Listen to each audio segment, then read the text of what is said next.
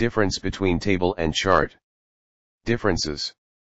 Table is a means of displaying data or information in rows and columns. Chart is a graphical display of information.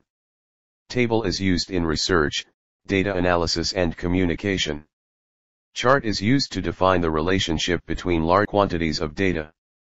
Table can be seen in various media from signs to notes in print and in computer software and several other locations.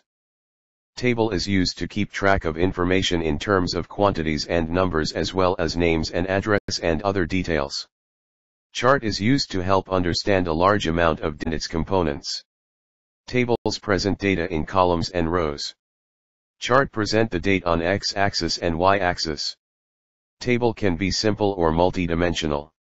Charts are of several types. Table contains texts.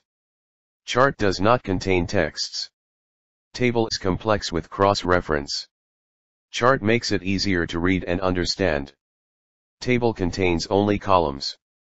Chart consists of either a major or a minor grid of lines. Table does not contain legend but only headings. Chart contains a legend which lists the variables in the chart for easy identification.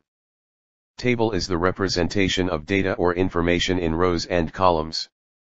Chart is the graphical representation of data in symbols like bars, lines, and slices.